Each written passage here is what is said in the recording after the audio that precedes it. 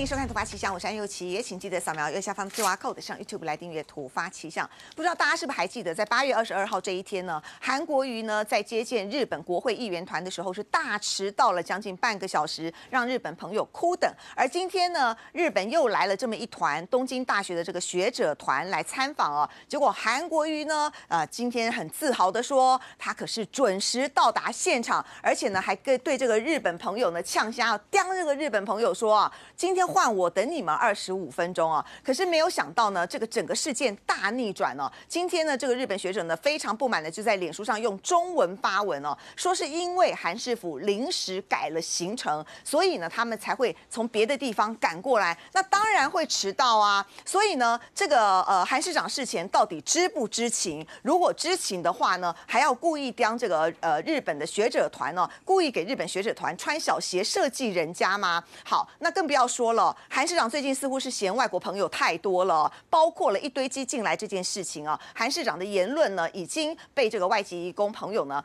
翻成了这个印尼文，现在在外籍义工圈还有外籍新娘圈呢是广为流传。有人要韩国瑜道歉，有人大骂韩国瑜根本不配当总统。而紧接着呢，这个周日呢，韩国瑜在初选后的第一场自办的大型造势呢，就要在新北市登场了。可是呢，前后任的这个新北市长呢，不但呢都。不会到达现场，而且呢，立委许淑华还爆料说，韩国瑜非常的担心，担心什么呢？他说他最担心哦，就是没有人来，频频哦焦躁的问许淑华说，人到底多不多啊？可是呢，韩国瑜之前周周办造势，他有担心过吗？为什么这一次会担心没有人来呢？而资深政治记者尚一夫呢，也在突发奇想节目里头独家爆料哦，说其实呢，这个朱立伦团队呢，本来分两派哦，一派呢是建议朱立伦把行程延后哦，那另外一派呢，则是告诉这个朱立伦。千万不要跟韩国瑜一起陪葬啊！所以最后朱立伦选择不来参加这一场造势，而这个侯友谊的部分呢，被问到了韩国瑜再度的这个邀请，侯友谊呃要来这个造势的现场啊。这个侯友谊呢，则是呃语带玄机的说，希望韩市长能够多多的互相体谅。可是到底要体谅什么呢？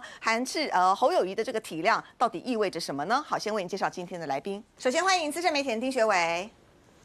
各位大家好，资深媒体陈培芬，主持人好，大家好，国民党文传会副主委黄子哲，主持人好，观众朋友大家好，永林基金会顾问高鸿安，主持人好，大家好，资深媒体陈东豪，大家好，资深媒体黄光琴，大家晚。安。好，我们就先来看哦。今天日本东京大学的学者团呢，到高雄去参访韩国瑜呢，在现场非常骄傲的说，今天他可是准时到达现场，而且还刁日本的这个学者团呢，说今天可是换我等你们二十五分钟啊。结果呢，竟然被这个日本学者打脸，说那是因为你们临时更改行程啊。可是我们来听一听哦，日本学者团真的被设计了吗？韩市长是怎么说的？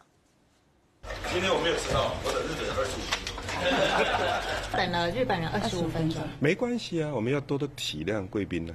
他们来下了高铁，然后找错位置跑到凤山去了，在凤山站急得不得了，又找不到计程车，所以再来赶来我们市委办公大楼。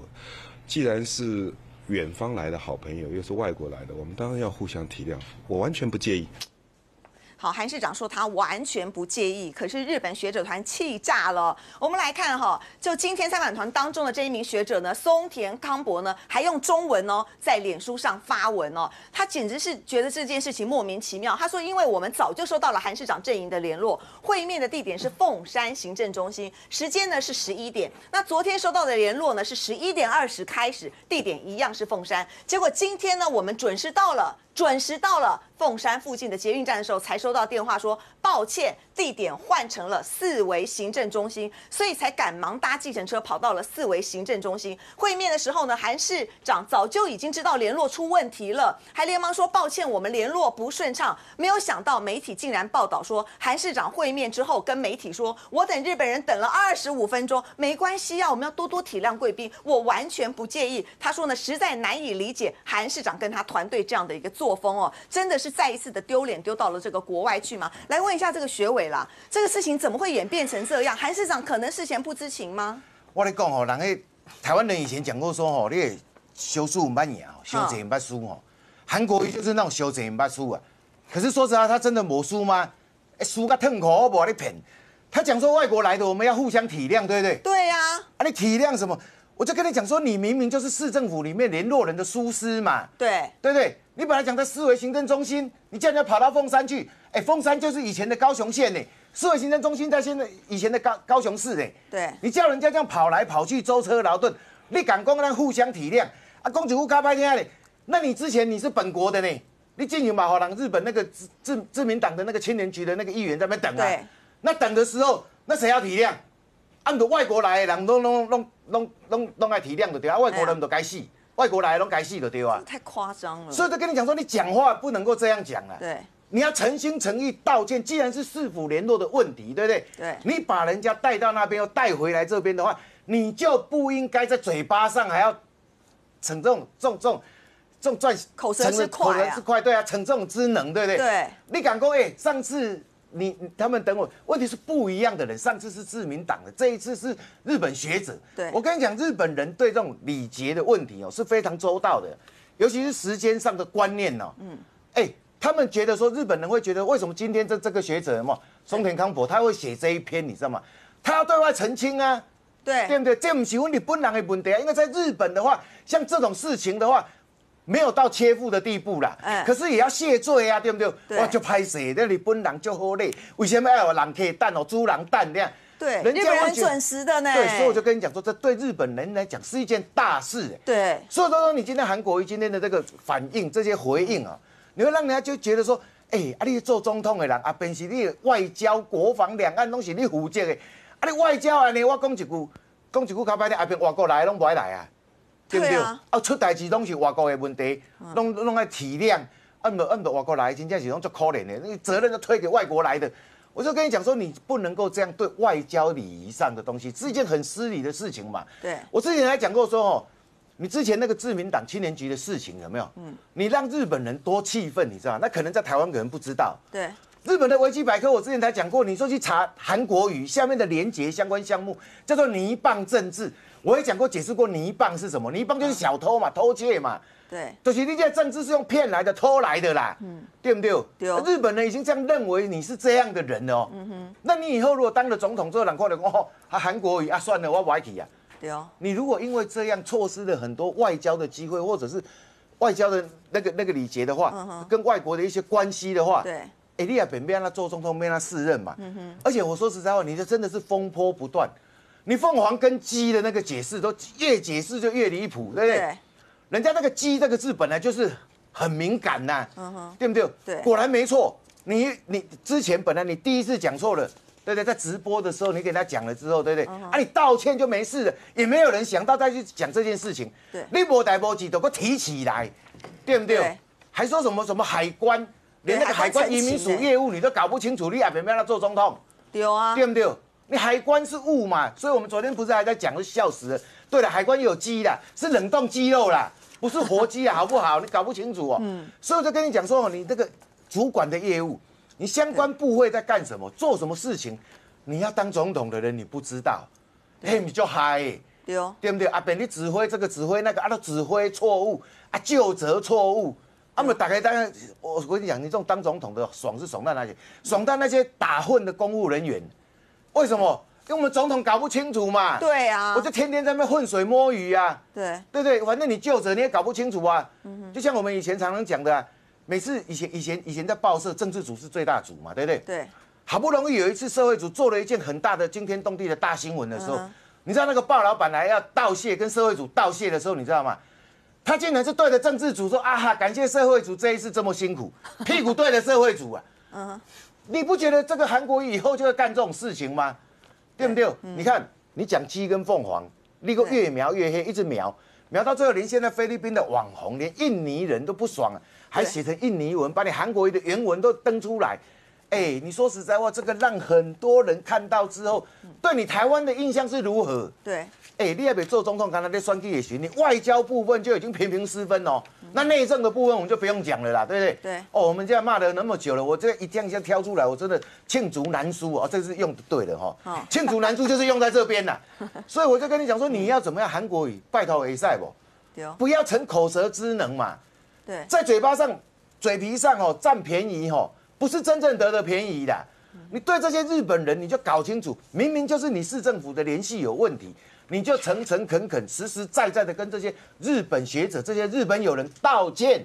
对，都无代志啊啦，就不会引发这么多的效益，让我们这继续来黑喊喊你黑你啊。嗯哼，来就是问一下子哲啦，听说你有跟高市府求证哈，这个到底是怎么回事啊？会不会太离谱了？是，我想这中间的确有误解了。我先来讲一下市府最新的声明啦。啊那这第一个就是说，呃，的确韩市长事先是不知情的。哈，我说真的，假设他知情还讲了这些话，刚才学伟哥骂这个韩市长了。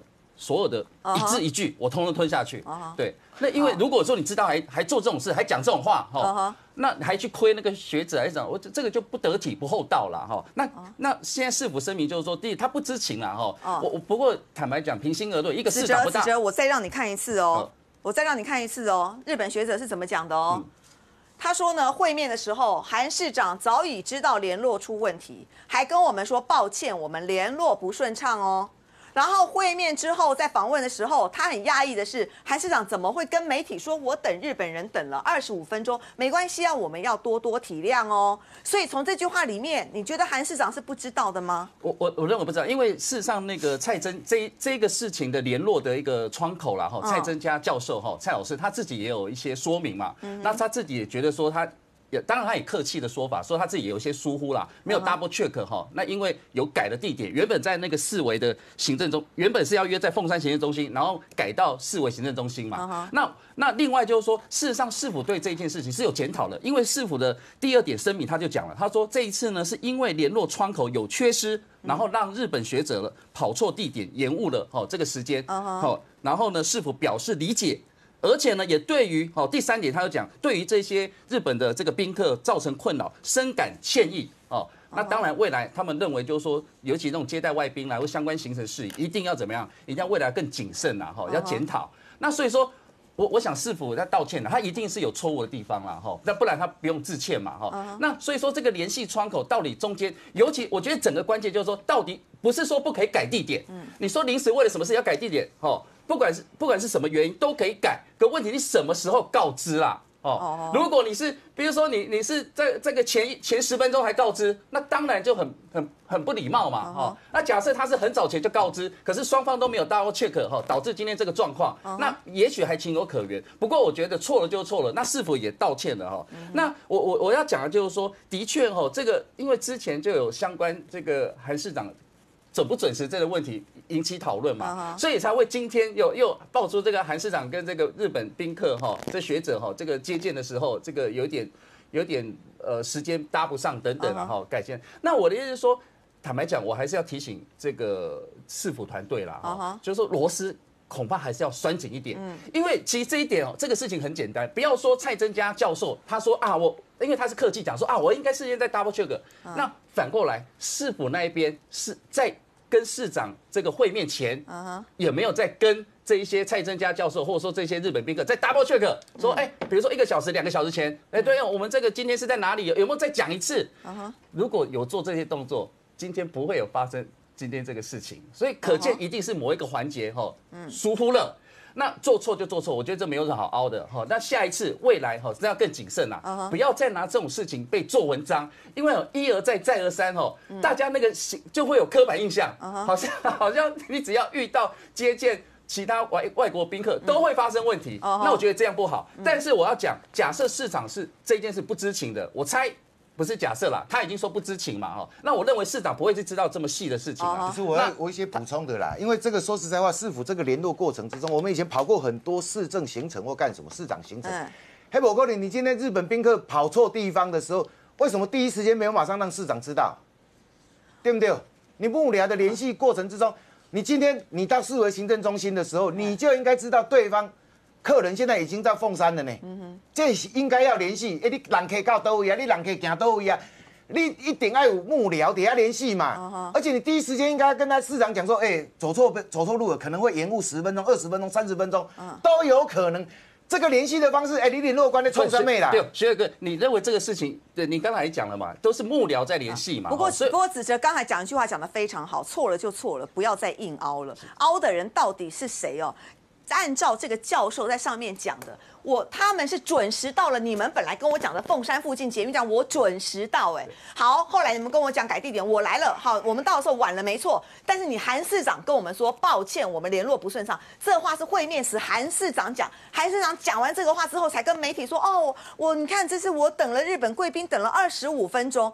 怎么可能韩市长不知道？你你好，如果不是韩市长说谎，就是这个这个学者说谎啊。佩芬姐你怎么看这个事情？其谁说谎了？？其实其实我现在根本不要争议，我觉得这是非常荒唐的，嗯因为你知道吗？市长出来他有随护，你知道我们也见见见呃见过这种场面，随时都在打。你现在到哪里了？什么时候到？对你知道随时随地都在联络，嗯嗯，所以市长可能不知道，但是你的随护随时跟你报告我们现在到哪里，然后接接待的那个几点钟到，那种时间都敲得很很精准。但是除了这个之外啊，错了，其实就是错了。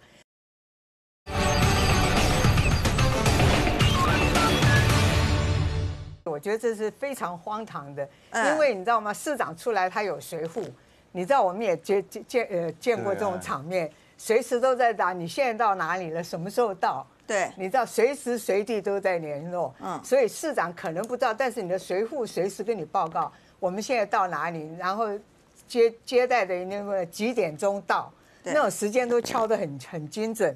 但是除了这个之外啊，错了，其实就是错了。那另外一个，你看他这一次接见外宾，我觉得很荒唐的地方还不止这个。你知道这个日本这个两岸问题的这个召集人，他其实在日本的那个国防部做过事，哦然后退下来到两岸问题研究中心做召集人。东京大学的两岸召集人，你知道台日的关系啊，从蒋介石那个时候以德报怨时啊，就跟国民党非常密切。嗯哼，所以我有一年去日本访问，我还访问到那个呃日华恳恳谈协会的会长，也就是日本众议院的议长，因为我是中央日报的记者，嗯哼，所以才特别被接见，而且是在他的官舍被接待。所以日本跟国民党的关系是非常密切。那这一次，因为他是国民党的总统候选人，所以东京大学这些学者特别跑来访问他。然后你知道他在内在谈话的内容，他谈了些什么吗？他没有谈两岸问题啊，就说你这个一个多月前就知道要来访，你至少你的国政顾问团、两岸小组应该帮你准备资料吧？对结果他在会中告诉人家说，日高雄的天气很暖和，你们日本可以跑来拍戏，要不然日本太冷了，然后讲话都会吐出白烟之类的，看起来不太好看。还有那个日本棒球队来这边练习，因为这边天气暖，打棒球比较方便。嗯哼，那些日本学者看到这样一个人谈的内容，嗯完全不是两岸问题的研讨的话，你想想看，这些东京大学，也就是以前的东京地大，这些学者回去的报告是什么？然后，而且现在中日台的关系非常的复杂。国民党的总统候选人在日本人看起来是非常关键，除了蔡英文之外，所以他给人的印象不现现在我们不去管他迟到几分钟，等几分钟，光是这些谈话内容会让人家贻笑大方。你知道吗？看完这些这几年的的表现，就会觉得说，韩国瑜不管从那个什么凤凰鸡、什么烧饼、芝麻之类的你会觉得这个人就是说，他用一九九零年代以前的知识、跟学问、跟见闻，来打这个二十一世纪网络世代的总统战。嗯哼，所以他会出荒腔走板，出很多很多的问题。对所以你知道吗？这样的一个候选人，国民党要不要负责？你知道吗？国政顾问团的团召集人张善政，我一个朋友那天跟我说，张善政已经被他毁掉了。因为原来对张善政印象好极了，因为原来在帮台南救灾、救地震。他说现在完全被他拖拖累嗯，所以这样一个人，然后是代表国民党要选总统，你想想看，是不是国民党要真的要提点他一下？但是你说他是不是个笨蛋？他不是个笨蛋。你记不记得我们曾经批评他穿着打扮有问题，穿着那个卷袖子的衬衫跑去跟 AIT 处长碰面，像个 doorman。然后这个到日本的那个青年官员的前面也是穿着衬衫，他今天穿的西装啊，对，今天已经像，所以他不是个笨蛋。但是你是不是有足够的体力、精神，还有时间去应付这么重要的事情？高雄市长加上总统候选人，对。我觉得他真的要真真的考虑，因为北荣总经理不等于高雄市长，高雄市长也不等于总统，你是不是有能力有资有有这样的时间去应付这么重要的位置？所以能不能兼顾市长跟总统候选人，我觉得这个才是他应该考虑的。洪安怎么看这件事情哦？你觉得离谱的点在哪里哦？如果这个这个学者说的是真的，你韩国瑜已经告诉人家说我们联络不顺畅，表示你知道嘛？你知道临时更改了行程嘛？然后呢，你却转过头去跟媒体说，哦，我们等了这个日本人等了二十五分钟，没关系，我们很体谅。所以如果说这件事情是真的，韩国瑜的心态是什么？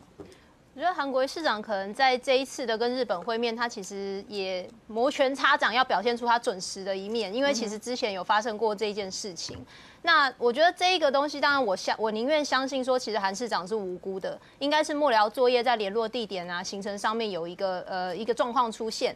好，那这当然我们无法怪罪他，但是我觉得要。看的一个点是说呢，今天韩市长他已经知道联络出问题，他已经现场就已经跟人家对不起。那今天如果你已经跟他对不起完，我觉得这件事情也就结束了。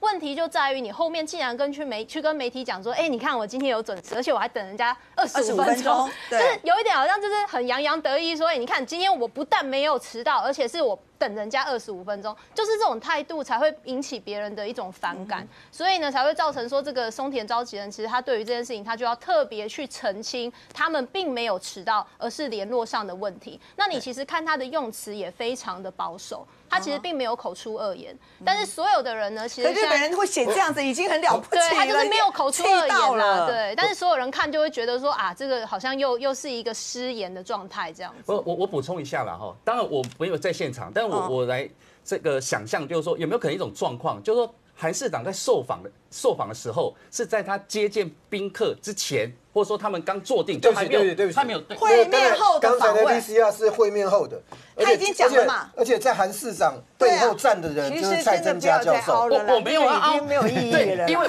因为坦白讲，这刚才刚才有讲说谁谁说谎嘛，我因为我不认为双方会说谎。对啊，因为说谎对这件事情，因为这件事情是大家都知道的事情，而且日本人说谎敢在也脸书上会容易被事后这样写对说谎所以我才要把兜起来。哦。就我一就是说假设刚才的 VCR 是会后韩市长接受访问的，嗯，好不好？你需要的事实就是刚刚没有好，没有关系，没有关系，这一部分我们讯息可以再查证啊，可以再查证。OK 觉得韩市长没有说谎啦，他其实他真的也等日本人等了二十五分钟，因为他在正确的会议地点等嘛。只是他说他讲完这句话之后，别人就觉得说，哎，你干嘛去消费日本人？光晴快听不下去了吧？对，其实我告诉大家真相了啊，哦，因为跟着韩市长的行程，你就可以看出端倪了。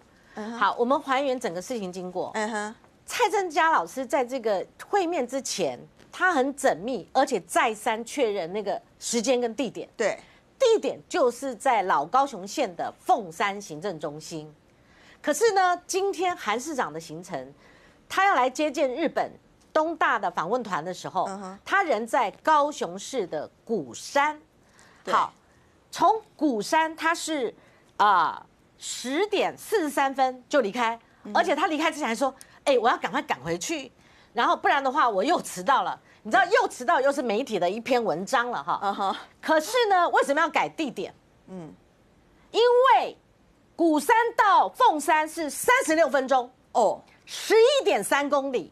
嗯哼，改了地点，如果到四维行政中心的话，六点三公里，十八分钟就到了。嗯哼，所以他如果按照旧约定的这个地点到凤山去的话，鼓山到凤山的话，他可能会迟到。又迟到，就是说他要马不停蹄的，路上没塞车，而且他立刻冲进去嗯，因为他现在就是怕晚到一分钟对，会被大家做文章，所以按照蔡增佳老师跟孙大千今天嗯哼，临时发现奇怪，我们到的是凤山，好，对。孙大千叫他赶快改到这个四维这个行政中心的时候，是今天十点多，他们已经到现场的时候，日本访问团到现场对。发生的事情，嗯哼，那很合理的一个解释嘛，就是韩国一怕迟到，对。叫幕僚改了遇会面这个地点嘛，嗯哼。你知道吗？日本人是非常重视细节跟礼数的，对，当松田康博写“我难以理解韩市长以及他的团队的这样的作风”，对，好，嗯，其实这已经是很重的话，嗯，而且你想想看，一个访问团到了凤山，因为他们下捷运进了凤山，本来好整一下，今天天气又很热，嗯那进去了，然后可以好整一下等你韩市长，对，可是你看看，他们就是一一一股脑的，因为你改了地点，他们要狂奔，招了三辆计程车，全部送上计程车，马不停蹄的要赶到现场，而还被你韩市长奚落说是，嘿，你们迟到了，对，我早到，你看我等你们二十五分钟，他这要说给谁听？嗯，他要说给所有媒体听。对，你们不要再抓我啦！你们之前抓的不算。你看我这这一阵子，我要不是准时到，我不然就超准时，我就是早到十五分钟。他之前不是在表演这个东西吗？对后来上一次没隔几天呢、他不是发了一顿脾气吗？因为他说他行程满档，所以赶赶赶，还是迟到了。所以这个变成一个鸡飞狗跳啊，对他来讲是动辄得咎的一个事情。对你想想看，这个算是什么个事情啊？我问你啊，韩市长，烧饼重要还是芝麻重要？真的，结果他现在是芝麻变得重要了，芝麻因为在烧饼里面掉了一地了，所以他变成烧烧饼不重要了，啊哈，芝麻就大大家看到它掉了一地了，所以他就为了捡那个芝麻，所以搞得鸡飞狗跳的。对，那你想想看，让这些日本访问团作为你要验证自己不是迟到大王，而成为你的垫背，成为你嫁祸的对象，对。成为你的炮灰，人家日本人、日本学者何辜呢？那这是韩市长今天呃的一个作为，嗯哼。就它是一个连锁效应，对，抱在这一团上面，就人家很冤嘛，不然一个日本访问学者他何苦要在下午剖文呢？对，因为他觉得这是在干什么？那韩市长这个风波，说实在，他可能自己冤枉，他可能自己觉得冤枉。哎，我怎么迟到你们也骂我？我今天早到也，而且早到二十五分钟，你们也骂我。我都等他们二十五分钟了，你们还要骂？可是问题是你中间，你让大家疲于奔命，因为你改了地点，对，因为要接驾，要迁就你在鼓山的行程，对，所以很多事情一发生就怪给这个幕僚。我觉得这已经是变周期性他们的一个回答。你记不记得韩市长他先前在美国，他说他去会他的发小啦，就是儿时的这个对很很好的邻居，结果让玉山科技会，他们都是一时之俊杰啊。对，他们扑空了，等不到你。结果你知道那个还有细节的，嗯。就是第一场等不到，因为在联系过程中，副市长叶匡时他负责安排的，他就知道说你来不了，所以整团移驾到他下他的饭店去，嗯哼，他还是爽约了。对，就我们看到是那场晚宴，可是事实上人家已经移驾换地方到你下他的饭店，那你总可以下来吧？对，因为他们说他身体呃疲惫啊，又有时差问题啊，包括李嘉芬也晕车啊，什么晕什么的啊，所以他们奔过来，结果还是扑空。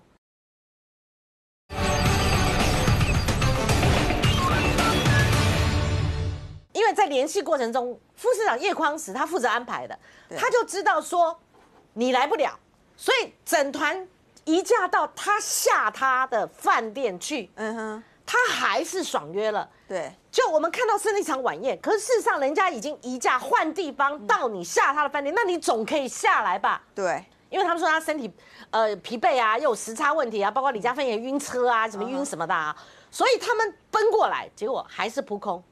所以这个在国际间是一个很失礼的一个状况，就好比我们连带谈到了凤凰跟鸡的问题，对，他就在同一个问题点上，而且是他自己的自发的自身的一个问题上面一直去跑，就粪坑的的那个粪，你不要一直去跑，对。你自己的问题你把它改过来，对不对？他一直去跑，一直去跑，所以凤凰跟鸡，你要让出去的。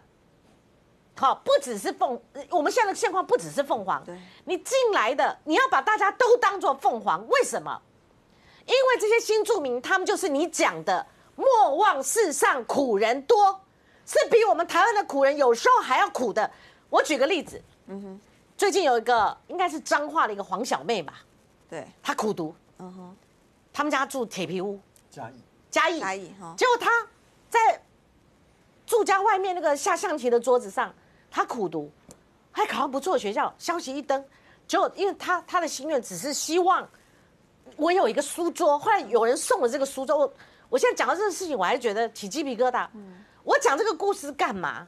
因为黄小妹的妈妈就是你讲的外以偏概全，你把她外让大家觉得你歧视的对象嘛，对，对不对？她就是一个外外外外外配嘛。嗯哼，那在韩市长跟先前前朝的那个市府时候，你知道民进党的那些议员哦，他们组了一个叫新住民委员会，对，就是说特别去哦，想要就是说加重设据点啊，十几个据点，然后多少个服务中心，他们想去关怀照顾这些呃弱势。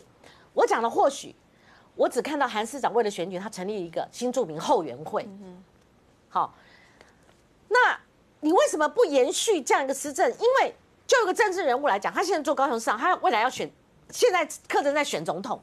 对，历朝历代或历来不分蓝绿的政治人物，哪一个不是要你？你就算是为了选票考虑，你不要有理想，你不要有价值啦，就就就算了。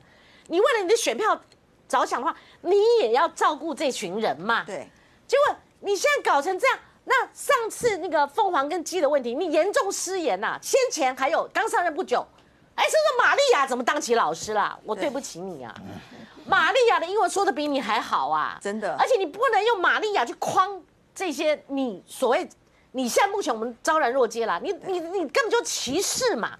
嗯哼，那已经失言了，你就不要再放大。他现在采取的是放大，他咬死哦。哦吼，我没有错，我讲鸡有没有鸡？确实有鸡嘛。对多少海关人跟我澄清说这个有鸡嘛，就是来台卖淫的多是来台卖淫者。对，那你你你说国政顾问团团要的干嘛呢？排排坐也不行，讲错话你也没道歉，对后来你自我发挥再去跑，啊，讲的越越来越大康，啊，人家就叫你道歉。你说这样一号政治人物，哎，大家都要去求这个票的，要给予他们关怀照顾，只有他嫌票多吗？对，然后去这样歧视别人，你不要讲海伦青桃嘛，海伦青桃们那些苦人在我们台湾的，包括我们的苦人也去其他国家。你知道，大家翻出一个旧稿子，我们的台湾人去瑞典讨生活，我最后讲，不过就是为了生存嘛。对，你何必这样？然后我在下面看啊，他以前去 long stay 不是晚上去借住这个新住民家吗？你做这个干什么？要不然就是哦身体不好突然走了，要不然是哦我们也没看到你在这个政策上面有什么文章。对，你未来当总统不一样，你你和你的正面表列，你的国政思维在哪里？我们不要看你一直数落鸡啦，嗯，对不对？你的移民署跟海关你也搞不清楚，哎，这个是，哎，这个跟那个什么读稿机差不多啦，那个程度差不多了。嗯哼你怎么当总统呢？对，对不对？而且你还继续不端出，你你应该掩盖那个那个你的失言跟错误嘛。按照我我我这代表我外行，我代表我犯了一个很大的这个错误，我跟大家道歉。好，那你接续要端出来，你你绿山计划你给它改嘛，你不要不要用这个名词，你用凤凰计划啊。你的南向政策，你的新南向政策，那是从李登辉时代就接续。你的政策在哪里？也没看到。所以我们就看到怎么有这个，而且高雄市政府，你们注意看看你们的那个新闻稿哈，你们针对这个事情，我讲后面这个嗯哼凤凰影机，他们发出新稿是什么？有人刻意在操作，谁操作了？话谁是你讲的在讲啊？失言是你失言，到现在还继续刨，继续在犯错，把那个错弄得更大嗯哼，然后国政也没有看到，这样，而且这个知识落差到你，毕竟以前当过立法委员嘛，对，你如果连政府组织你都搞不清楚，哎，难怪他学的是中国大陆的北大的政府管理学院呐、所以这是一个很大的落差。对。那国民党有任何能人志士、学者、专家、前朝官员，还有以前的遗老，你们出来教教他，不然说你这这号政治人物、这号候选人，哎呦，你们吞得下，可能别人吞不下哦。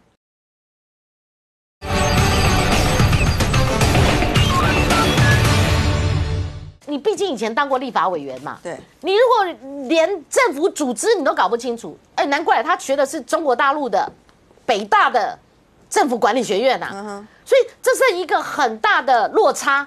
对。那国民党有任何能人志士、嗯。学者、专家、前朝官员，还有以前的遗老，你们出来教教他，不然说你这这号政治人物、这号候选嗯人，哎呦，你们吞得下，可能别人吞不下哦。不过呢，这个事情哈、严重的地方在于哦，韩市长如果知道这件事情，他还隐瞒了记者。临时更改地点这件事情，然后再告诉记者说他等了日本人二十五分钟，现在逼的呢这个日本学者呢要写这个脸书自清哦，而且其实话已经算重了，他实在呢不难以理解韩市长跟他团队到底是一个什么样的这个作风。那光晴刚才也提到了，其实韩市长呢，现在呢，你是一个要选总统的人哦，你可以不要再这样糟蹋台湾的外交吗？你将来要谈两岸跟外交政策，请问你要怎么谈呢？因为我们除了这件事情，光晴刚也提到了这个凤走鸡来的这件事情哦。韩国瑜到后来偏偏要他硬要解释说鸡就是指呢这个海关人给他很多陈情哦，说就是这个非法来台卖淫跟打工的很这个非法打工的很多啦，而且呢这个这一番言论呢后来呢还被这个外籍移工呢把他。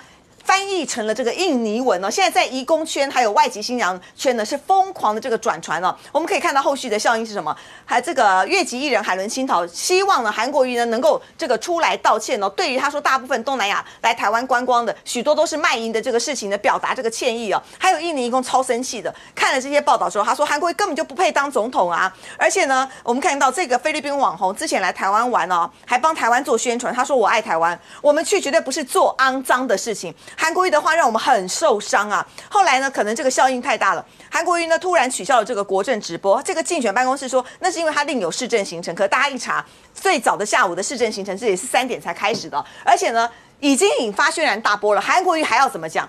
请问你们啊，芝麻重要还是烧饼重要？当然烧饼重要啊，可是你们却一直把重心放在芝麻上面哦。而且呢，不止这件事情哦，本来呢要对香港释出善意，张汉正说呢，考虑要要制定呢扩大香港学生来台就学的管道啦，放宽这些香港学生毕业之后在台湾的就业限制等等。后来呢，也被香港网友骂说呢，韩国瑜当选的话，谁想过去呀、还有香港网友说，韩国瑜当选就下一个中国了，过去有什么用呢？甚至有网友说，韩国瑜当选之后，台湾就会回归中国管制哦。好，但是无论如何，我们来听一下，其实跟我们刚刚特别提到的哦，这个韩国瑜说，我今天可是让你们日本人等这个，我可是等你们二十五分钟，感觉是一样的。韩国瑜是怎么说的？是芝麻重要还是烧饼重要？当然烧饼重要，但是一直把这个重心放在芝麻上面。你看这一两天都是在芝麻上打转，你把移民署啊、海关啊怎么样怎么样？但是更重要的问题，我们除了保护而且感谢这些新住民之外，对于整个国境的管制以及台湾社会的问题，是不是要在这里政府要更用一点点心思，拿到免签证进到台湾的，有没有产生其他的问题？这个是我想要强调的。韩国瑜现在到底在想什么？问一下东豪，他真的从东北亚得罪到东南亚，然后从台湾呢 得罪到这个香港去了。现在我们朋友都被他这个骂到跑跑光光了。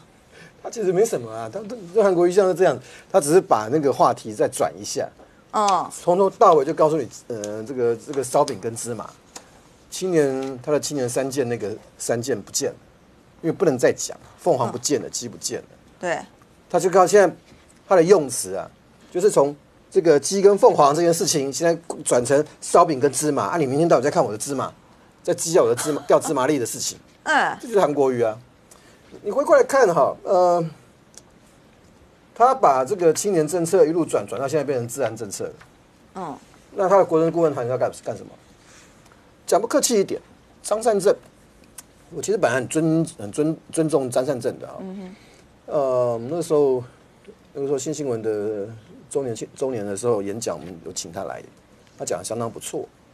可是我真的不晓得张善政现在怎么去跟韩国瑜合作。因为韩国瑜到底听得懂听不懂你在讲什么？到底听得懂听不懂？对，任何一个他的国任顾顾问团号称有一百多个人，下面再继续跟他同框做直播，不怕吗？这些学术界的人不怕吗？对，今天日本的东大学者来，蔡正佳教授、蔡正佳老师，你愿意背锅吗？嗯，你愿意帮他背，对不对？你是做你是做日本研究的啊，嗯，在日本的东大的学术你上面的传统，你看不懂这个事情的后续影响吗？当然，蔡增家呃副教授他是他他是可以背这个锅，可是回过头来，你再看那个整个过程里面，在跟东大学者会谈完之后，会后记者会，他过去为什么要去讲那句话？今天是等于他是就告诉你，哎、今天换我等日本人了哈，对，今天是换我等他们二十五分钟了哈，嗯哼，我没有迟到哈。他在，这是他自己的心态的真实反应。你让你为了要让人家变成是日本人迟到，日本教授学者团迟到，改地点。韩国瑜什么时候拿四维中心办公了？他不是才一一当市长就把四维中心的市长室搬到凤山吗？对，他想要干嘛？更麻烦的是，你瞧不起这些日本东大学者，你也可以瞧不起日本，你连东南亚一起推进去，嗯，你到最后只剩下一条路，不要说人家扣你们红帽子，你除了靠中国以外，你还能靠什么？你要知道啊，先不讲太最简单的，我菲律宾先不讲，去二零一七年来来台湾旅游的，嗯比菲律宾少一点的是泰国，二十九万人次。嗯哼，最近跟韩正人同台，喜欢讲这个特殊事件，也就是说所谓来台卖淫的。嗯，二零一七年泰国的泰国籍的发生次数不到五百件，四百多件。嗯哼，那我们官方统计认为，可能跟呃旅游目的不符合的，一千四百多件，不到一千五百件。我再讲一次，他们的来台观光人数是二十九万，超过。嗯以二十九万做分母，你去看那有一亿的一千四百件，一千就算一千五啊，一千五百件里面有不到五百件确认是涉及到情色风化的，那个比例是多少？对。零点零零一二，哎，韩国瑜说，整架飞机上一半的人到台湾人都不知道要干嘛。一半。对，但是对韩国瑜来讲，这有什么关系？他讲错话又不会怎么样。去年开了那么多支票，讲错话，甚至说谎，人家不是照样当高雄市长给你看？对，去年没有准备的韩国瑜都可以当高雄市市长，他今天讲这些，他照样当中华民国总统给你看了、为什么？因为他的团队回来了，该就位的就位了，女人也回来了，网红也回来了，他的空军也回来了，所有王金平的陆军现在都在他那边呢、他这样他就能赢啊。他什么时候反省过自己？所有这些事情都是我们在黑他嘛，对，都是我们的错啊！怎么会是韩国瑜的错呢？韩国瑜怎么会犯错呢？韩国瑜道歉之后，告诉你啊，对不起啊，我是属鸡的，这还不够，再告诉你，讲鸡没有错。然后呢，为了要护卫护卫护护卫韩国瑜，韩国瑜的这些网军或者网络上的这些韩粉怎么讲？韩国瑜只是把你们心中的话讲出来，这就是韩韩国瑜跟韩粉的文化、啊。当他讲，他就是把你们心中的话讲出来的时候，就说你们不要假道，不要那边装道德伪君子，你们想的跟韩国人是一样的。韩国瑜哪有讲错话？他根本没有想到一件事情。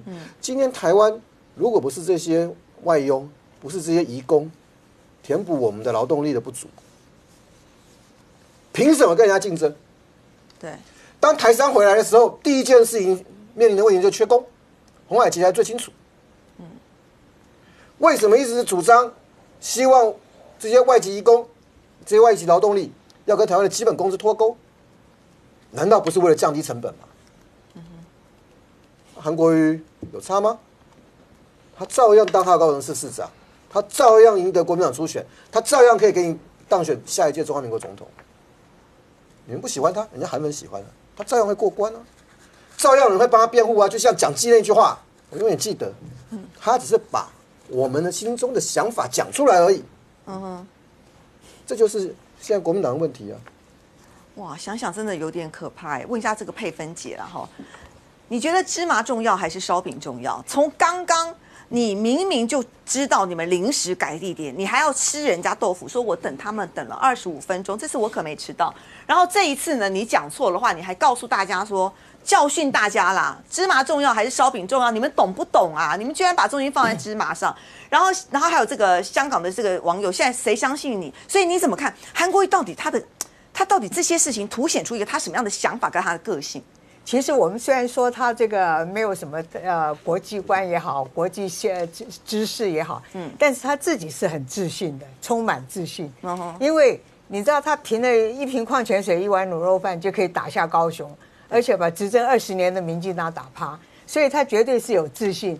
然后你看在国民党的总统初选里面，嗯，这么多你看那个台湾首富也好，朱立伦也好，然后你通通输给他。而且他的那个民调领先那个蔡英文是四十七比十五，嗯哼，然后所以有学者说他有九百零六万的这个韩粉，那所以他绝对有足够的自信，他觉得我今天讲这些事，你们就所谓吃烧饼芝麻，就是你知道我就为什么刚刚说他都是用他呃九十年代以前的那些知识跟见闻来打二十一世纪的那个总统选战、网络选战，因为他这些形容词都是我们小时候会听。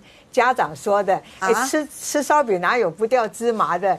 芝麻烧饼，所以变成那个年代大人骂小孩子或者这个之类的，所以他会形容。但是你今天烧饼重要还是芝麻重要？那你今天就说凤凰是芝麻呢，还是那些来的一群鸡是芝麻？嗯，那事实上他形容的，后来他又加重解释。对，其实如果说他原来道歉就没事，他解释完以后，人家更要去追。你这个芝烧饼是什么？芝麻是什么？对，那然后这个比例到底是多少？好，那个东南亚来的这个观光客有两百多万，几乎跟大陆客是差不多的数字。对，那事实上抓到的这种所谓来呃不正常工作的或者来这个卖淫的人，大概才几百个吧，四百多。嗯哼。好，那你今天形容的芝麻烧饼，那你结果把那个。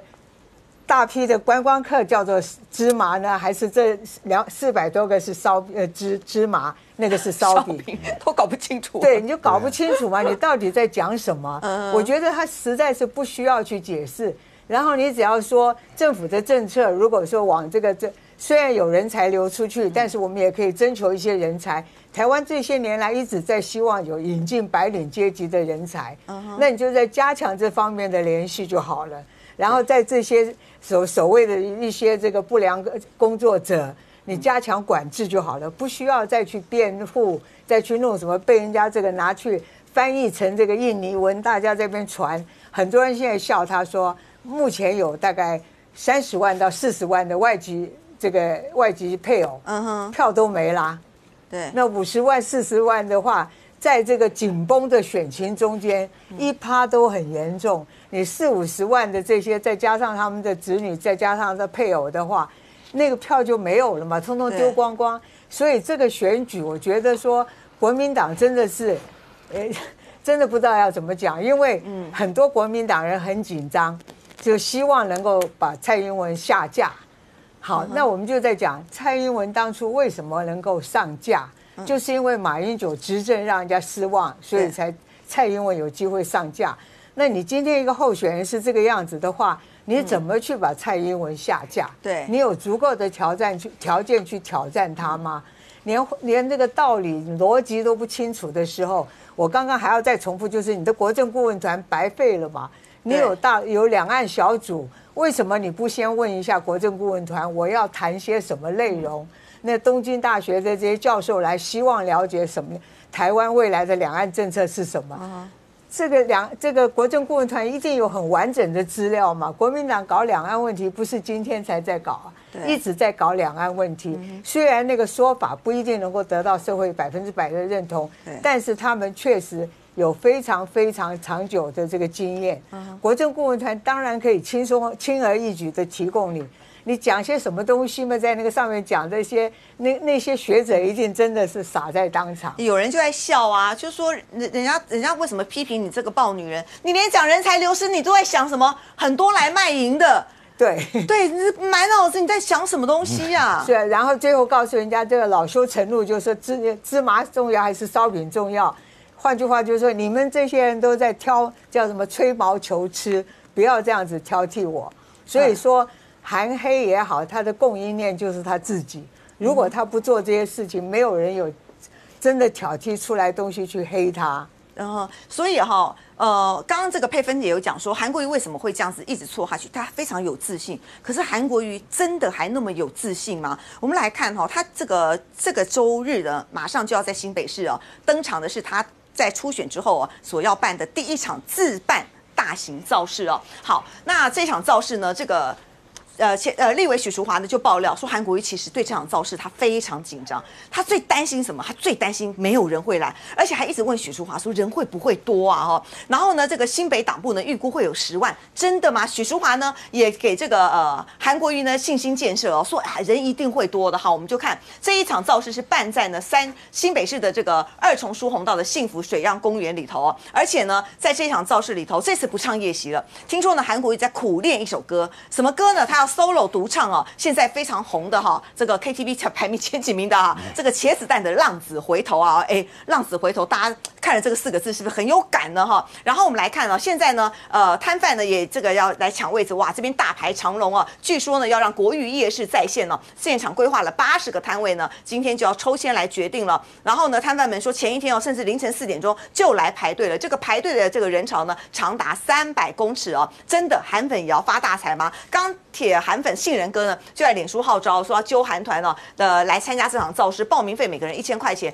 据说呢要号召二十万人风雨无阻到场啊！就有网友就帮忙算一算了，租四十人坐的这个游览车呢也不过一点五万，再加个便当，每个人一百，四十个人才花八千，算一算哦，这个杏仁哥还能赚呃一点五万。不过杏仁哥有澄清啊，说我一毛都没赚哈，呃我只是个窗口而已哦。可是呢，我们来看哦，韩国瑜呢，韩粉这么热情，紧张什么呢？好，我们就来看这个。前后任的这个新北市长朱立伦跟侯友谊呢，通通不赏脸。朱立伦说呢，有跟韩市长通过电话啦，告诉他说我要去日本，我没有办法出席，而且也祝韩市长活动顺利哦。那侯友谊讲话就很妙了，他说啊，希望呢这个韩市长啊不要再约我来这个参加新北市造势了，应该要互相体谅、互相包容哦，能够把自己的角色做好才是最需要努力的地方。那国民党新北党部主委李乾龙则说呢。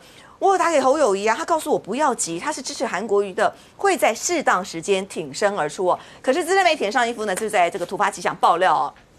说呢，其实朱立伦阵营呢，呃，为了要不要来参加这场造势是有开会的，而且分成两派意见，一派就说这个日本行程是可以延的，要不要延呐？就就去陪韩国瑜一下吧。另外一派也则主张啊，不要跟韩国瑜一起陪葬啊。朱立伦是有未来的人，所以呢，朱立伦听了这句话之后呢，他选择哪一边？他最后选择了不去哦，他最后选择了不要跟韩国瑜一起陪葬哦。所以呢，韩国瑜阵营呢，对于朱立伦不来是有些不满的。可是如果侯友谊跟朱立伦都不去哦，人数呢还超过十五万，热度高的话呢，侯。侯友谊其实也会担心未来的连任之路，如果场面不好看呢，那就反过来代表韩国瑜还是要靠侯友谊跟朱立伦的。好，可是我们来看一下啊，之前韩国瑜周桌办造势的时候，他哪有担心现场会没人呢？可是这一次居然担心，来薛伟，韩国瑜居然会担心，哎，他为什么这一次开始担心起来了？我说实在话，在新北市办活动，本来你这个风险就很大了。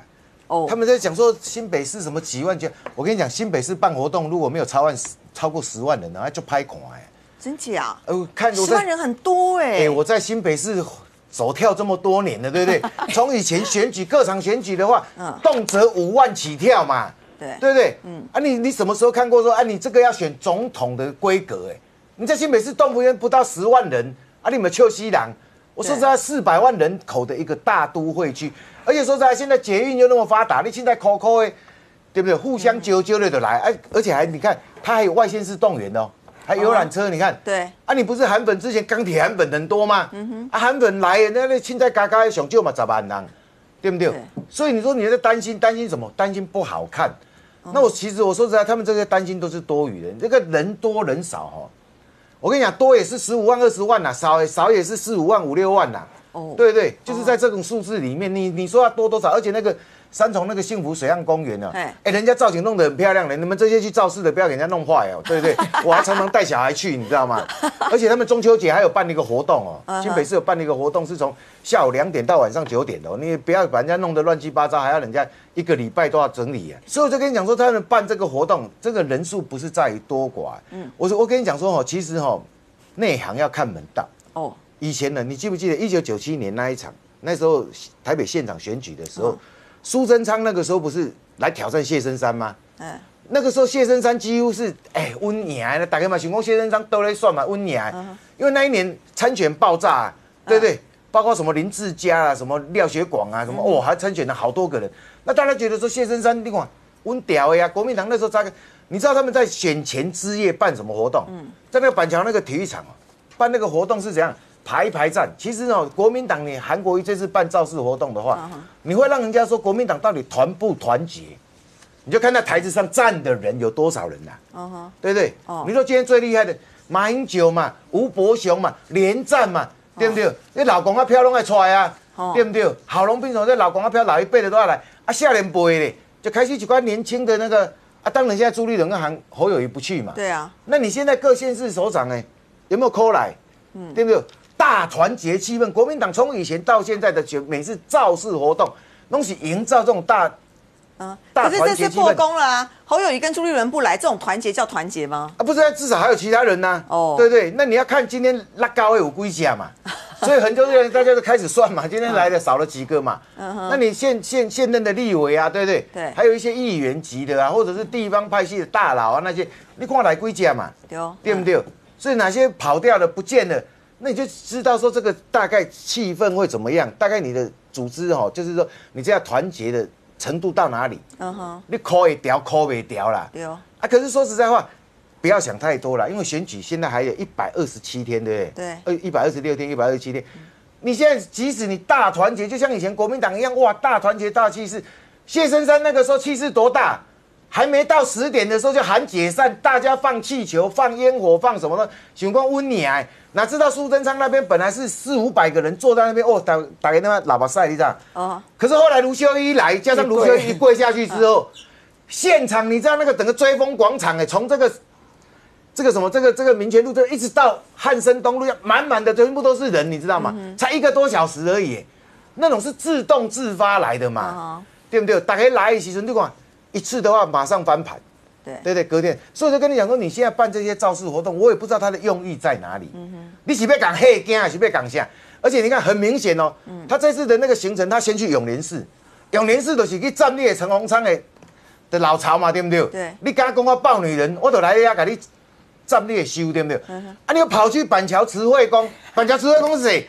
郭台铭他的老家呢，人是自细汉困在遐大汉的呢，哎呀，他也跑去慈惠宫，你看。他想说妈祖会不会来托梦？对啊，所以他就来啊，他这次是挑战的意味浓厚嘛。嗯，那我就觉得说，你幕僚，说实在话，你今天我刚才前面讲了一大堆，是说国民党你要办一个大团结、大大那个什么造势的气氛，那你今天前面的行程又是一下永联永联寺，一下子又是慈惠宫，你的根本就要踢馆的嘛。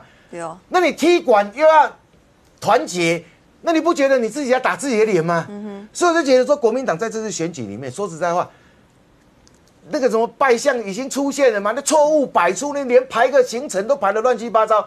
你也不要说刚才我们讲说那个日本那个学者来，对你说实在话，你国民党什么时候变得这么不严谨？里面那个螺丝松成这种地步，你知道吗？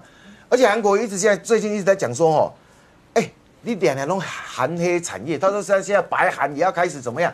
我讲实在难听一点，我们从头看到尾，从以前看到现在，很多事情不是你韩国瑜自己去自揭疮疤的嘛？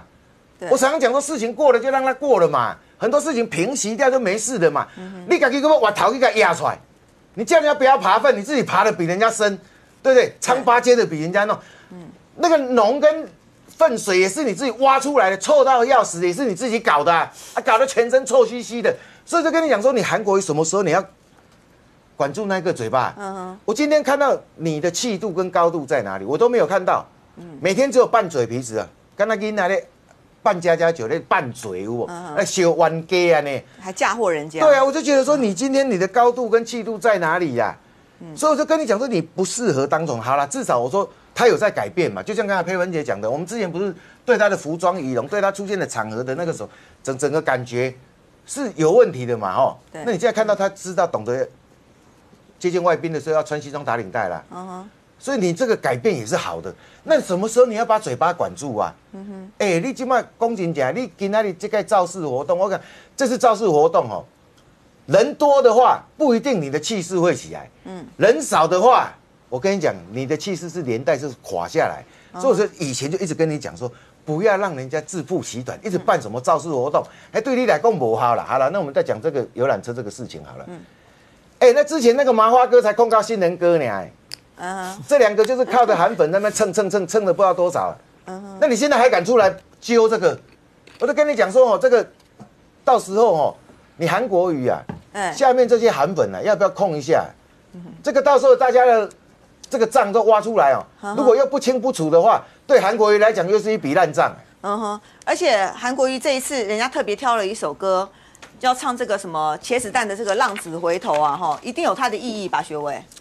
啊，我刚刚这这条歌哦，唱嘛是迄个，他这首歌《浪子回头》，说实在话，他是在描述他自己嘛。你知道这首歌怎么唱？你知道吗嗯？我我先让大家预习一下。这首歌现在很红哎我要帮你哎、打拍子。你讲，烟一支一支一支在点，酒一杯一杯一杯在打。亲爱的，我才唱不开你唱了唱有人有华，因为因为讲到说酒一杯一杯一杯的打。哦，好这。不就是在讲他自己？我就觉得说，韩国瑜你会不会唱一唱之后回去讲说，啊，看到这个世面才歹着吼哦，啊是等下酒打打一杯一杯过来打好啊，卖过遐艰苦啊，对不对？哎、不过光晴点这首《浪子回头》还这样苦练啊，是唱给谁听的啊、说实在，韩国瑜他歌声真的不错，哦，而且他把诺就跟台下呼应哈，嗯，那种那那种呃他的那种方法哈，他其实是很在行的。嗯哼，那这个人呢，就是说，你越说我抱女人，哦你越说我花天酒地，哦哦，你越说我那个年少时候轻狂、误入歧途，嗯嗯，哦，说我如何如何，我就唱这首给你听，嗯哼，这是他的破嘛。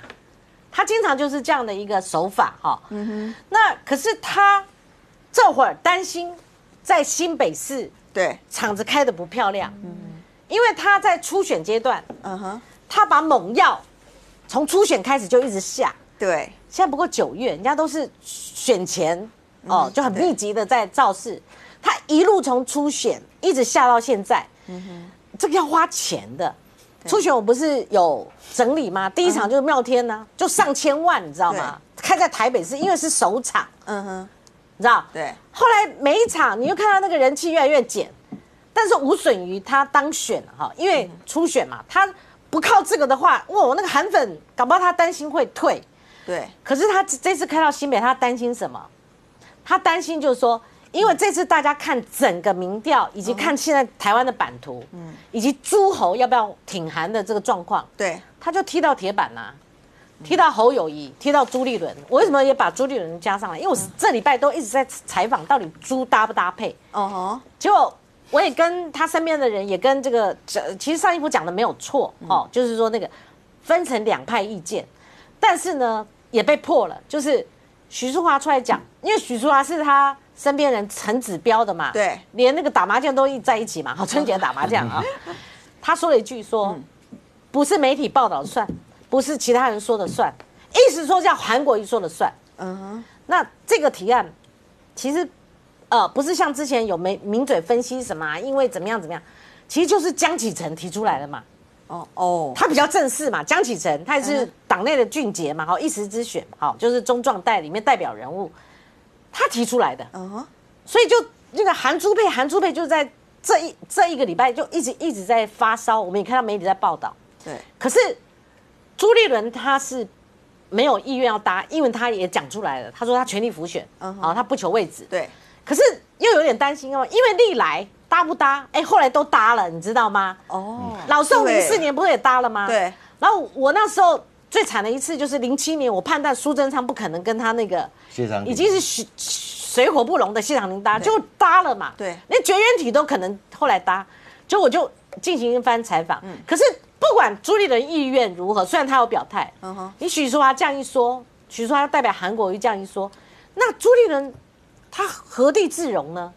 对，，好，那这个直到今天为止，侯友谊市长都不改其口，他都他要看顾的是四百万市民，嗯哼的一个他们的权益，对。好，他必须要照顾。其实最后一次访问韩国瑜之前，嗯，我访了那个侯友谊，那时候呃之后我访了侯友谊，那是一个市长的一个专访，就是他们就职满百日的一个专题。嗯哼，就因为那时候已经被韩粉霸凌了，好，那后来侯友谊来上我的节目，其实我有问他这个韩国瑜的现象哈，以及韩国瑜现在好像大家有在讨论他要不要选总统，以及他自己好像哦感觉像是要选总统了，他就私底下讲了一句哦，他就说，哎呀，该办点正事了，因为很多人不解，嗯哼，以为你汉子、燕子、秃子为什么这时候怎么锻炼了？对，其实现在就说，明明就是他要办正事的侯友谊，嗯哼，被党内人是炮轰，甚至讲的很不堪。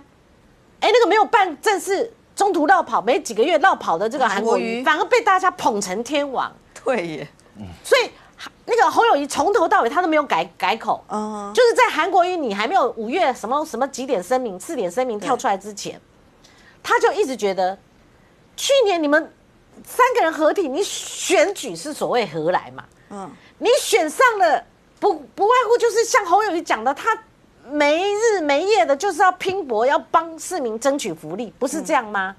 所以你看侯友谊从之前的合适说是假议题，一路跟他们这个意见哦不相容，到对。现在为止，他针对我们刚刚前段讨论的新住民，他怎么讲呢？嗯哼，他说呢，真正要疼惜这些朋友，所以他还是做他自己。可是，对。他的这个形象很激烈的，他不是或许不是有意要对照，可是他就对照出韩国瑜现在的现在的不务市政、荒腔走板。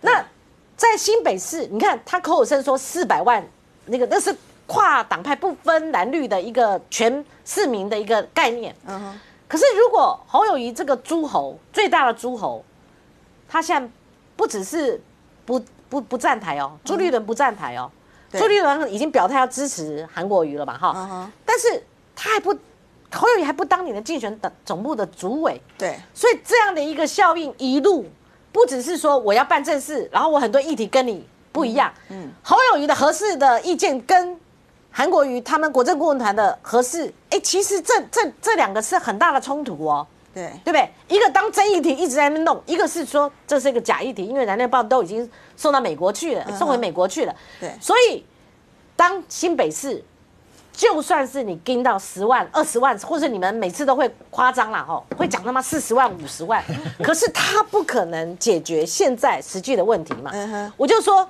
呃，旺中说那个郭台铭有三无嘛，对，说他又是没有正当性，又没什么。后来我我我也看到韩国瑜的问题啊，有六缺啊。哦，他自己常出包嘛，他自己缺口太多了嘛，还有诸侯没有完全靠上去嘛，朱立伦不搭嘛，还有立我这边报一个小料，我不讲名字，嗯哼，什么双母鸡，国民党不会给你搞双母鸡，嗯但是中央我经过我综合采访的一个认为，嗯，我觉得不排除有双保险啊，因为要看郭台铭未来跳出来跟韩国瑜之间的消长。对，如果郭台铭哦不成气候，那就自然没有这个双保险，那这个那张保险单就是韩国瑜嘛。但是如果韩国瑜一直直直往下落，还还这个这个被边缘化的话对，另外一张就是保险单了。嗯哼，所以我这边要报的料是说，我刚刚讲六圈没讲完，其实有一圈是立委没有完全靠拢，甚至有立委，台北市要选立委的一位国民党籍的政治人物，他私下去找了郭台铭啊。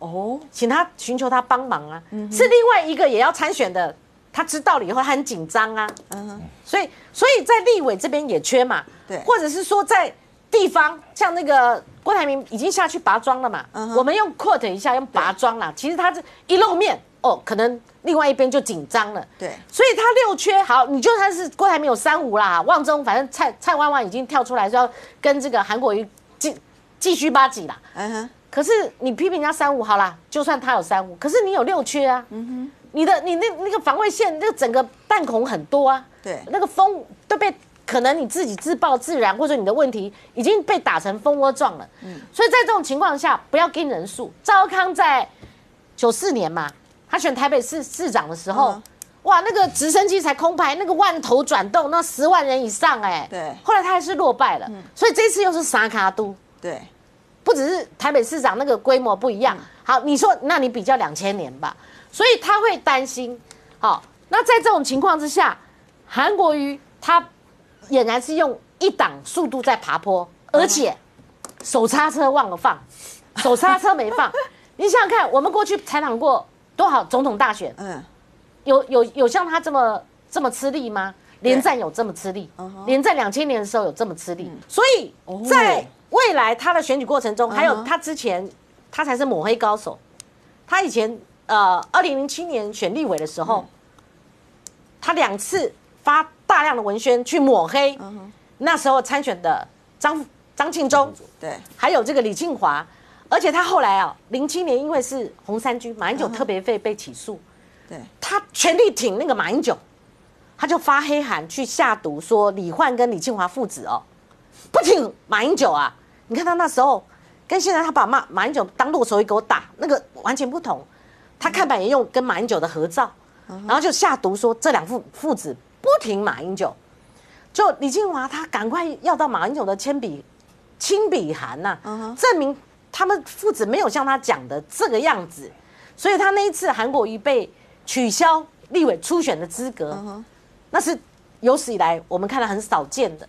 他就是自己就是抹黑高手啊，很会搞斗争，所以一个市政跟他自己很有兴趣的这种造势，我相信他比较思维跟兴趣跟欲望、野心都放在这个造势。一个市长，如果他满脑子最大的总目标，嗯，是要选上总统，你说市政，那也太难为他吧？陈菊后来跟着，傍晚的时候，在我们录影前几分钟，他发了一个那个脸书，嗯哼，他的脸书呢，好好的介绍了这个他韩国一所怠慢的这些学者，包括松田康博啊，是日本数一数二重要的，而且是跟台湾、台湾跟两岸重要的一个学者。嗯哼，好，长期关心台湾的民主发展，对台湾也十分友善。另外，其中有一个叫若林正藏教授，陈菊跟他认识三十年，他的著作如何？他们过去来台湾都被大家宾主尽欢，还请吃饭啊，气氛非常融洽。此一时也，彼一时也。结果居然还被嫁祸，这到底怎么回事哦？问一下这个东好了哦。现在韩国瑜的民调像失速列车一样，但是呢，他今天要办这个造势，他居然开始紧张起来，真紧张还是假紧张？那新新闻其实哈、他们有去访问这个党内人士，其实党内人士对这场造势是忧心的，因为他们认为说还有四个月，你现在就已经下猛药，然后提早进入了蓝绿对决，其实未必是一件好事，反而会对选情不利。你怎么看？呃，这个状况，如果嗯当天真的像他们讲来了十万、二十万人。好，那难道说侯友谊就要开始怕了吗？可是如果来的人少的话，这代表什么意义？不要讲十万了，我跟你讲，三十万人侯友也不会怕了。哦，你就侯友十万加二十万呢？票不，十万二十万加起来三十万嘛。嗯，如果装得下三十万人，我就在这跟你讲嘛，三十万人侯友也不会怕了。哦，所以侯友宜怎么会不会怕被出征啊？为什么侯友宜不会怕？他是一百一十六万嘛。哎，他一出征仓就三十二十九万你知道，他得了一百一十六万票，对，对。嗯，你也不要看不起民进党，民进党去年输得很惨，苏贞昌拿多少？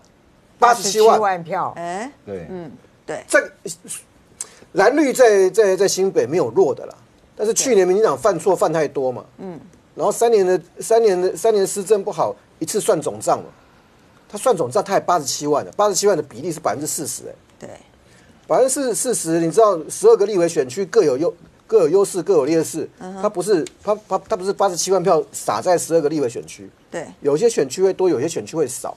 同样的，侯友谊的一百一十六万里面有很多是浅绿的，侯友谊总会怕你。侯友谊心里又不选，他要选是三年以后的事情，对，所以到底谁求谁啊？嗯哼，朱立伦就一定叫得动侯友谊吗？不要搞错了，第一大诸侯啊，哦，有现在不一样一百一十六万，他破了朱立伦的记录。对，蔡英文为什么在民进党里面那时候讲话诶诶当短啊？他是民进党第一个在新北市拿下一百万票的人啊，嗯哼，没有这个记录啊。你拿得下一百万票，就表示你有潜力嘛。对，那韩国瑜在新北能拿多少票？大家可以拭目以待、啊。所以我跟你讲，三十万人侯侯友宜也不会怕。嗯哼，那朱立伦更有趣了，嗯，大家都有在问朱立伦身边的人啊。朱瑞还在美国的时候，大概大概心里面就已经决定了啦。他决定什么呢？第一个，他不会去要位置，他不要去抢位置，太难看的啦。嗯哼二零一六年输成那样子，摔成那样子，他不是东，他不是笨蛋，这里面没有人是笨蛋。嗯，初选连郭台铭都输了，你你你拿什么去跟人家喊价要位置了？对，那更何况他自己，他自己对于两岸有些想法也不大一样，嗯哼，但是在国国民党里面恐怕这都不是一个主流的想法。对所以他他跟郭台铭先生是同一天回到台湾的啊、嗯哼，他怎么拿什么？你要拿什么去跟人家要位置啊？只会被他羞辱而已。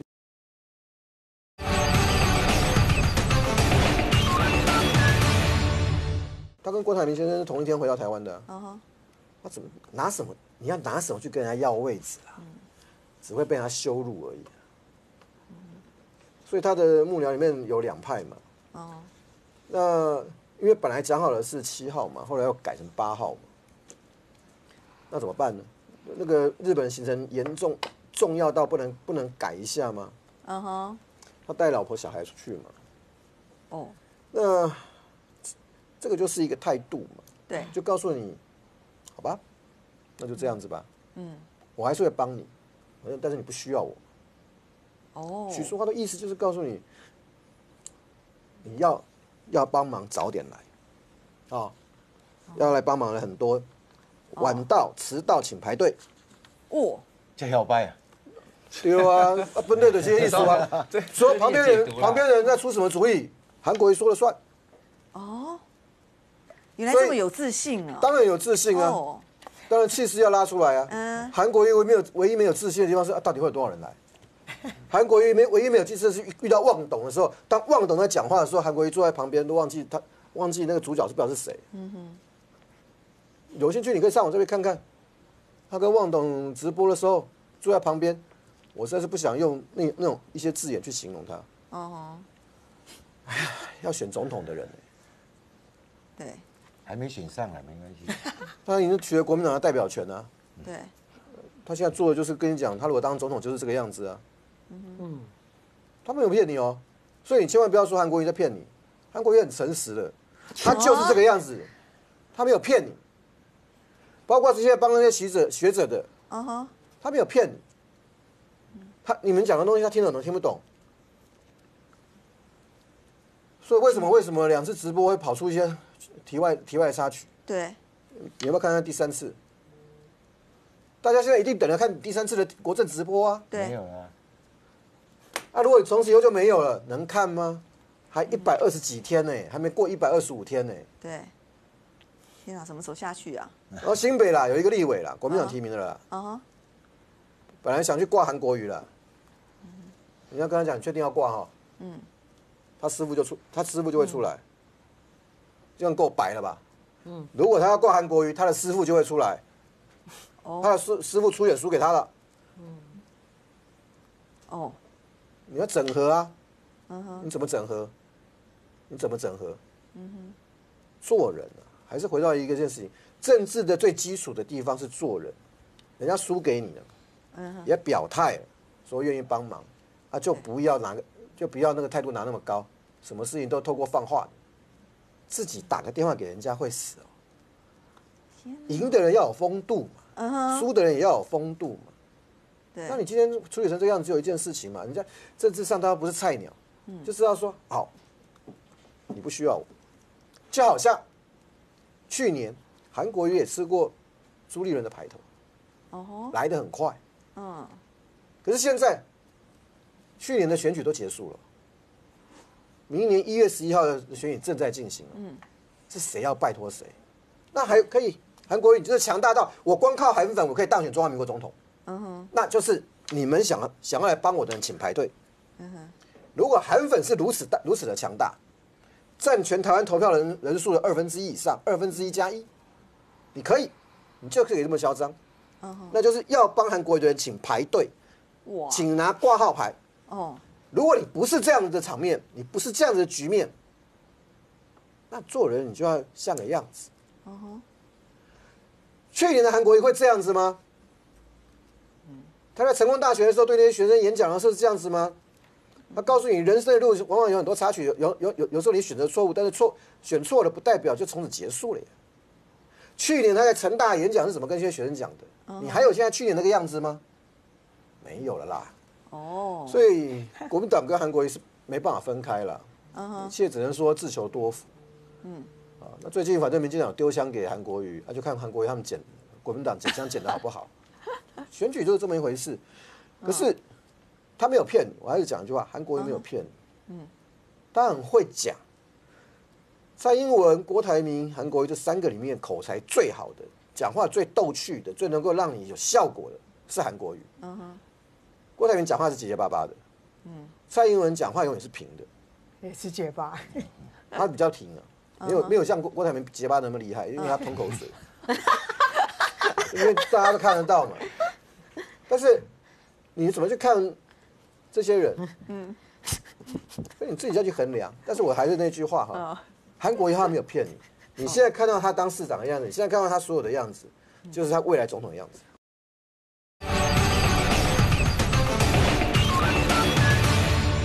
哇，佩芬姐现在帮韩国瑜居然要领号码牌啊！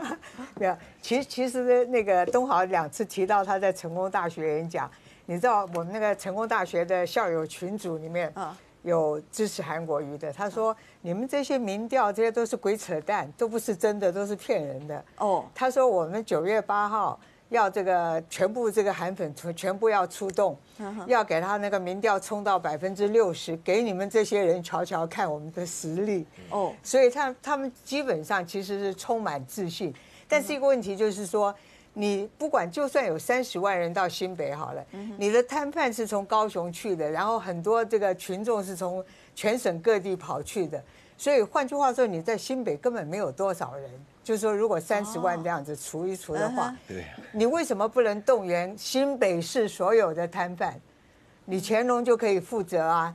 新北市的幅员够广啊，然后好吃的东西也很多吧，对不对？对，什么什么芋头糕啊，什么东西，我发现很好吃。对，可是你就可以动员高新北市的摊贩，嗯，才证明你的实力嘛。然后就是说，你要征服新北市，你一定要是到真的深入到新北，所以你从各地去，连摊贩也是从高雄运到新北市去卖。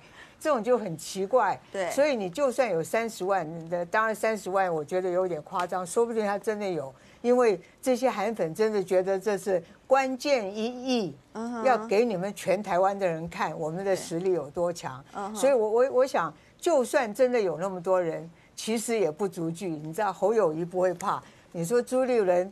他如果说觉得说真的你那么可怕的话，他就留下来陪你了嘛。嗯。然后讲到韩珠佩，还不赶快的扒上去跟你配吗？对。因为张善政是真的想跟他配的人，所以朱立伦会临时跑，临时就说有事情走了就拒绝陪他。嗯。当然也盘算过，就说他当选的几率有多少。嗯否则的话不会放弃这么好的机会。但是话又说回来，王金平说要选总统，到今天其实他是目前。国民党里面比较弱的，他都不要跟韩国瑜配。那 那朱立伦这个年龄还轻嘛，他将来如果还要从政的话，如果他要从政的话，他当然不要把他的前途放在这一次，因为未知数。那你就说，我未来就是说四年以后他还可以卷土重来，除非他今天决定说我要去放弃政坛。不从政了，要去教书，那又是另外一回事。反正他也不缺钱嘛，他岳丈给了他很多钱。不过韩国瑜的自信还可以从哪里看得出来？从他这一次去新北，他排的行程可以看得出来。因为呢，他这个除了哈。这个十二点开始呢，到这个市党部啦、拍照啦、便当会之外，我们看接下来他要拜五间庙。第一间庙去哪里？先去踩这个郭台铭的这个本命区的板桥慈惠宫哈。然后接下来第二个行程去哪里？去泸州的永联寺。泸州永联寺有多么的重要呢？我们带大家来回忆一下哦，当时这个寺的这个主委站在蔡英文旁边是怎么讲的？他们怎么可以提名一个？整天打麻将，整天吃喝玩乐，可以抱女人，可以当总统。那以后我也要这样。我说要求啊，啊完蛋了，啊当然了，安了我要咋干正了？好了，不过这个问一下洪安了哈，你看。永联寺的主委那样呛他，韩国瑜我到新北，我就偏偏去踩永联寺。现在郭总想要独立参选，是不是？我就先跑到这个慈惠宫，我就跟你比比看谁的这个人潮多。你怎么看韩国瑜这样的一个策略？哈，还有呢，韩国瑜现在马上就要办这个呃初选的这个之后的第一场自办的这个超大的造势活动了哈。那你怎么看？嗯，我想这两间庙也算是蛮具有代表性的啦，所以其实他如果去选这两间庙，我想他也是肯定了这两间庙确实是确实是一个他值得去走跳一下的地方。对那至于这个妈祖庙的话呢，其实我想他之前可能因为。一直想说，郭台铭先生其实他出来的时候，就是有听到妈祖托梦这样的一个事情，所以可能他也想去看看妈祖有没有照顾他，就是说 给他一点指示，说哎，他这个大选应该怎么样从这个比较低迷的选情开始一路冲天啊，这希望他能够获得一些妈祖的关照，反正神明都会照顾大家嘛。那至于造势大会的话呢，我们这边倒是不是那么的担心。因为呢，其实造势大会，大家刚刚那个光晴姐有讲到那个一九九四年，其实陈水扁跟赵少康的这一场嘛，我觉得这个还蛮关键的，就是说为什么现在韩国瑜会这么重视的这个造势大会？其实有第一个很大的原因是呢，其实韩粉他现在其实把持的最，就是让他最有信心，可以继续勇敢的选下去的最大的一个支柱就是韩粉。铁票，那我觉得其实呃，因为我刚刚有跟潘恒旭先生有对话到，他跟我讲了一句话，让我其实有点毛骨悚然。他跟我说呢，就是呃，国民党自己内部做的民调显示呢，韩国瑜的铁票其实有三成。这三层是怎么样也跑不掉的。那我就觉得这个民调可能做起来跟我们所有其他人可能活在一个平行时空。说实话，我们也是三层没错啊。对，就是就是，我就想说，那所以其他全全全台湾的其他的民调都发生什么事情了？因为他现在已经网络上流传，还是有很还是有民调指出，萨卡多韩国瑜还是有三层的啊。你不能刻意忽视那些对于韩这个有优势的民调，然后就看他不。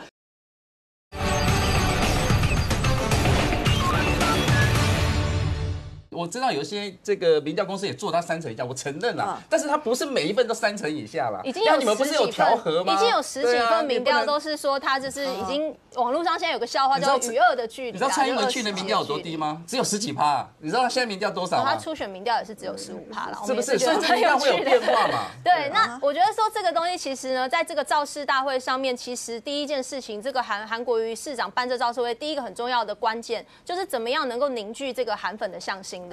那我们。我们来回头看到刚刚讲的，就是赵少康跟陈水扁的这样子的事情。当初在一九九四年呢，可以看到赵少康就是他在办这个所有的造势场合呢，你从那个空拍机拍下去，那个人数是非常非常壮观。如果我们说赵少康的那个人数有到十万的话，其实当时陈水扁的造势场合其实大概只有三万。那为什么最后还是陈水扁垫垫过那个赵少康十九万票？它的原因其实是呢，今天造势场合比的不是指人数而已，它比的第一件事情是你每一场造势场合你重复动员的这个比率有多高。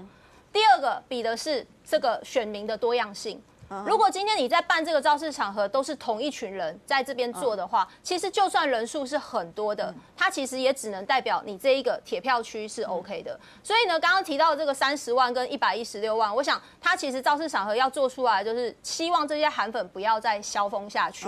因为昨天的这个品观点民调里面做了一个很有趣的一个现象，不知道大家有没有看到？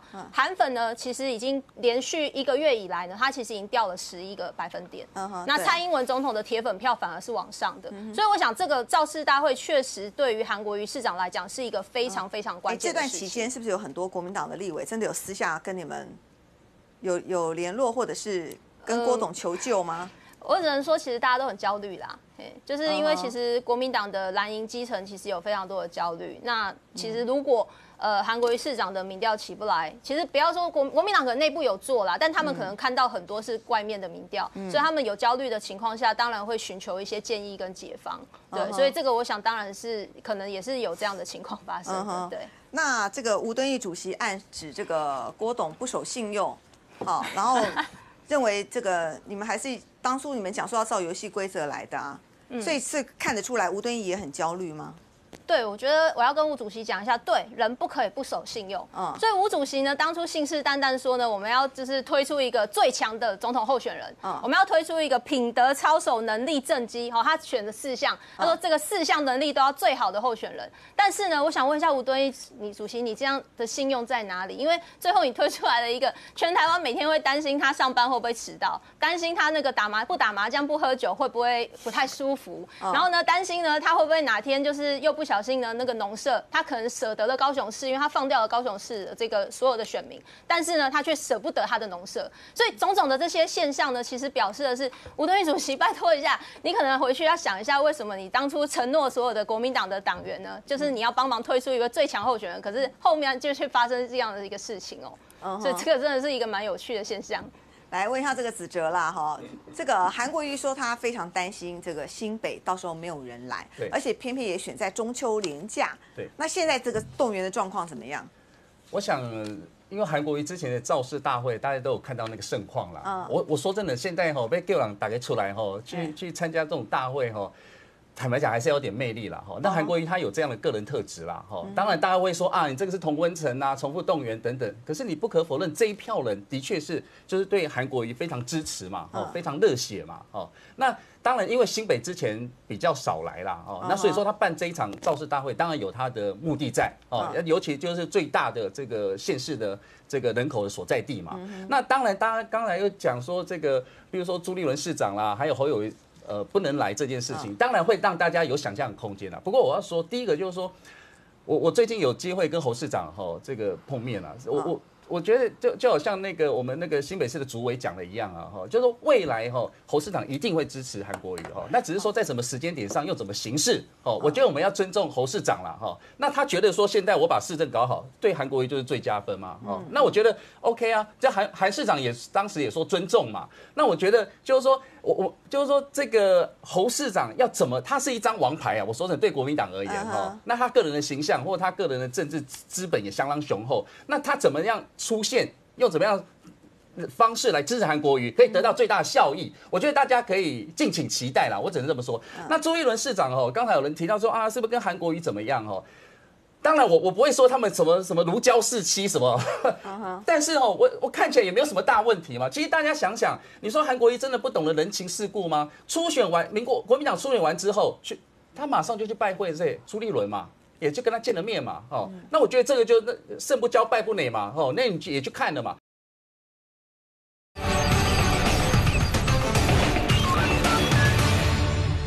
那朱市长这次当然他因为他自己有国外的行程，他去了。那、那可是你看，比如说朱立伦他的过去的副市长李世川哦，那这个这个什么，还有他过去的团队人员哦，在那个国政顾问团里面也占很多。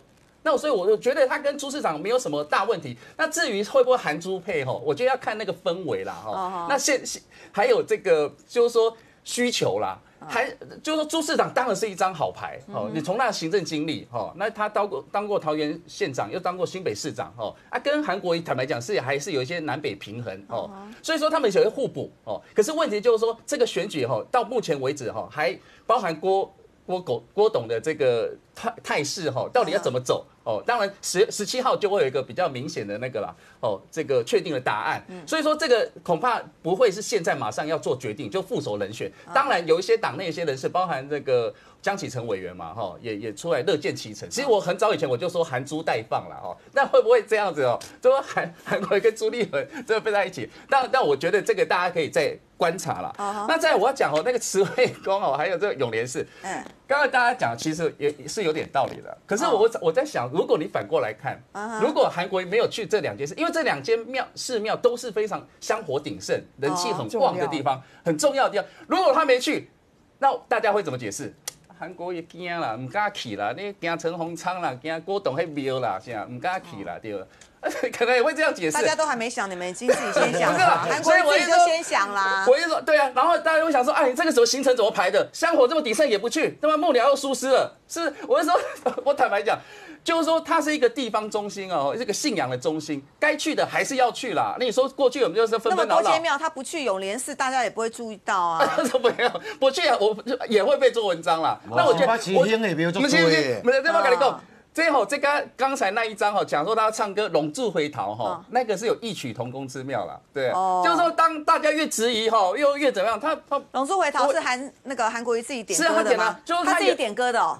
哦，我不晓得这这个这个我真的不知道，可是至你少他接不要回应那么快啊！不是，至少他接受这一条歌嘛。如果他哦如果不喜欢，他不会唱嘛。那龙柱回逃，当然他自己都不避讳过去哈，一二十年前他有那一段比较荒唐的岁月，年少轻狂的岁月，这他没有否认过啦。那龙志回逃其实哈，大家不要忘记，其实哈。大家忘了这这首歌我超爱，如果我可以唱的话，我给五分钟我会唱完。好，那你来上 来来来。我要讲的是说这一条歌是你也可以唱一下帮韩市长唱个两句来。来来来来来，我我我要讲的时候，它的意义不在。不仅在于说，哦帮韩市长打歌啊嗯回回头这件事情，《龙之回头》是时下年轻人爱上的歌。我觉得指责当然很辛苦了，因为要辩论，要帮他辩护是有点辛苦。但是侯友谊呃跟韩国瑜之间的关系或者互动，李乾隆说侯友谊一定会支持韩国瑜，在什么适当的时间站出来。李乾隆，我我觉得那都是场面话。